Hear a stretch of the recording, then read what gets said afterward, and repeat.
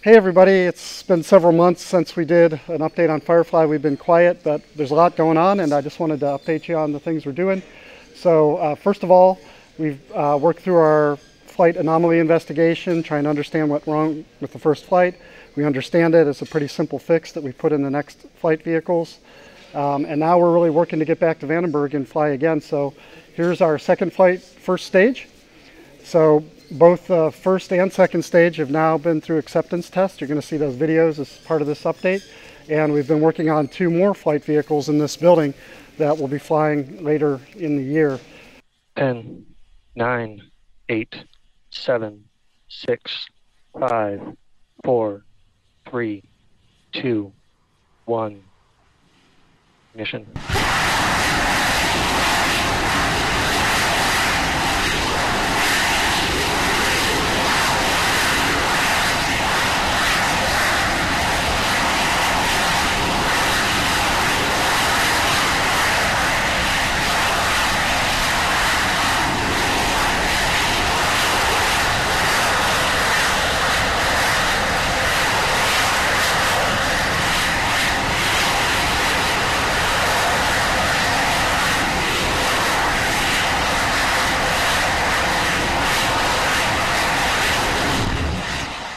Made it all the way.